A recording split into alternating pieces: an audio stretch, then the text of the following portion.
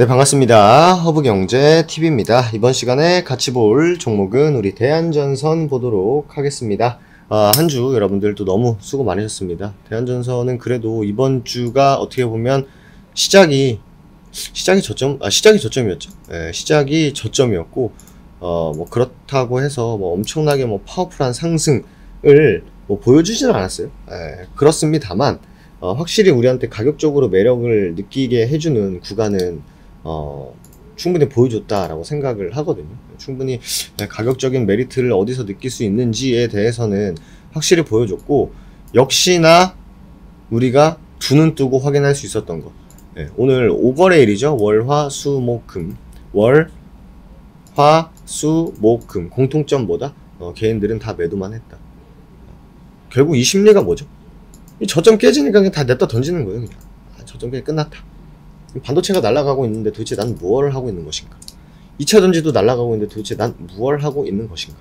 네, 이런 생각들이 이제 머릿속을 지배하겠죠. 상대적 박탈감을 느낄 수밖에 없는 그런 시장 분위기였죠. 네, 반도체를 보고 2차 전지를 보던 사람들은 결과적으로 수익을 냈고 그 외에 에이 저 가다가 말겠지. 에이 뭐 또 다른 게 가겠지 하면서 혼자 네, 시장은 전혀 그렇게 어, 시장은 그렇다고 말을 해주지 않는데 나 혼자 그렇게 생각한 사람들은 돈을 벌기 굉장히 어려운 또 그런 시장이었다라고 생각이 됩니다. 결국 주식이란 게 누구나 다 보고 있는 구간에서 버티네, 야 좋다, 시세 잘 안 나옵니다. 네, 이런 것들 다 깨주고 가야 돼요. 깨주고. 그래야 이번 주처럼 여러분들이 눈으로 어, 직접적으로 확인할 수 있었던. 결국 저점 깨지니까 뭐예요? 저점 깨고 나서부터 바로 뭐예요? 저점 깨지고 나서부터 바로 개인들 매도 나오죠. 이 흐름이 한두 번 일어나는 건 사실 아니에요. 한두 번 일어나는 건 아니다.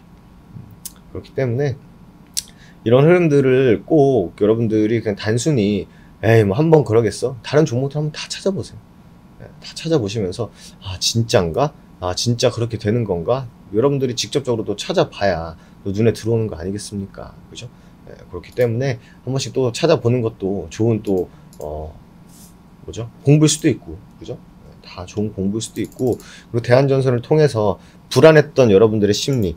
아, 내가 물론 지금 매도하면 당연히 손실이니까 매도를 안 하시는 분들도 분명 계실 거예요. 네, 분명 계실 겁니다.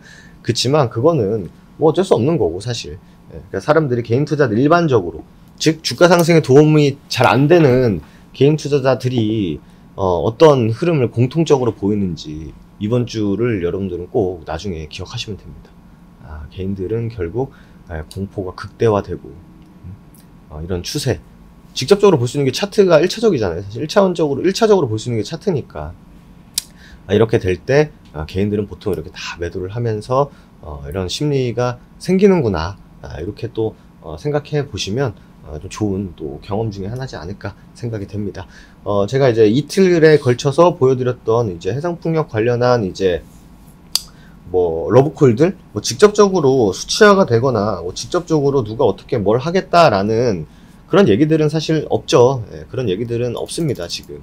예, 그럼에도 불구하고 예, 그럼에도 불구하고 분명히 계속적으로 쑤셔주는 데는 있다.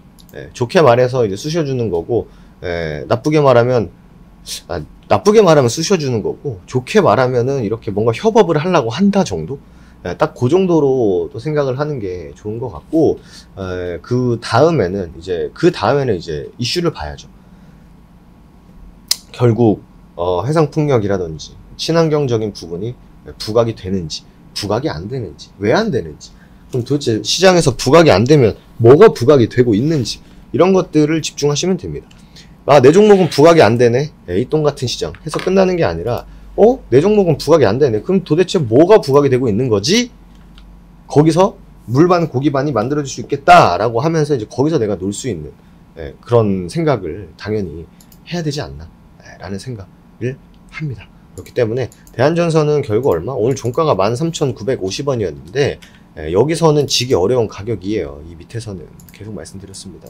다만 아쉬운 거는 언제, 예, 맨 언제 도대체 언제 주가가 움직임을 보여줄지에 대해서는 그, 그거에 대해서 누가 개런티 할 수 있는 부분은 사실 뭐 없지 않나 음, 아무도 없지, 않, 없, 없지 않나 생각이 되고 다만 확인할 수 있는 건 어, 개인들은 확실히 이런 구간에 오니까 지루함을 못 견디거나 아니면은 아 좀 위험하다라고 해서 매도를 하는구나 요거 하나 체크해 두시고 이 구간에서 저가 매수가 들어오는 거는 결국 외국인 놈들이구나 까지 체크를 해 두시면 된다라고 보시면 될 것 같습니다. 어, 여러분들 어쨌든 간에 한 주 정말 또 수고 많으셨고 또 주식시장은 또 열립니다. 다음 주에도 또 열려요.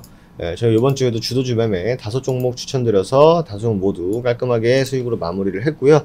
다음 주에도 또 준비해가지고 다음 주가 아니죠. 예, 또 오늘부터 또 어, 다음 주 시작 전까지 또 잘 준비해가지고 좋은 종목들 또 여러분 수익 날 수 있는 종목들 보내드리도록 할 테니까 여러분들께서는 보고 계신 대한전선 영상 댓글에 이렇게 초, 그 파란색 링크 있어요. 누르신 다음에 무료 종목 신청 남겨주시면 됩니다. 이거 1분도 안 걸리고 30초도 안 걸려요. 예, 여러분들이 다섯 종목 수익 내야 되는 상황 낼 거다라고 했을 때 1분 투자는 저는 뭐 전혀 아깝지 않다라고 생각을 하니까 한 번씩 링크 누르신 다음에 무료 종목 신청 남겨주시면 되실 것 같습니다. 한 주 고생 많으셨고요. 저는 또 다음 시간에 인사드리도록 하겠습니다. 감사합니다.